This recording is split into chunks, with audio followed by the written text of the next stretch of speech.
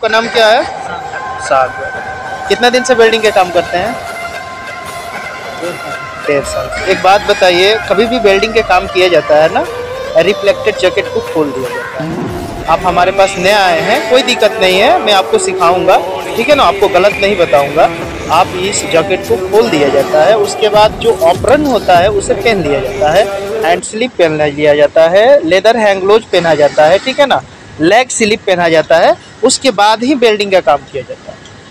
आप ऊपर गए थे अच्छा लगा आपसे बात करके बट ये सिचुएशन जो है ना, गलत है। ठीक है ना?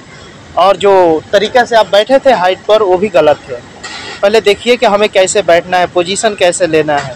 ये हाइट है। हाइट ये नहीं कहता है कि आप हमारे पास आइए। हाइट कहता है कि तुम चढ़ो ना, मैं गिराऊँगा। ठीक है ना? इसलिए प्लीज़ ये सब ज़रूरी नहीं है। ठीक है ना? वेल्डिंग करते समय कभी भी ध्यान रखिए। डेढ़ साल का एक्सपीरियंस है, कोई बात नहीं है।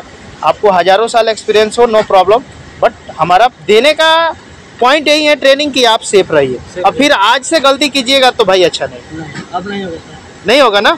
चलिए अच्छी बात है।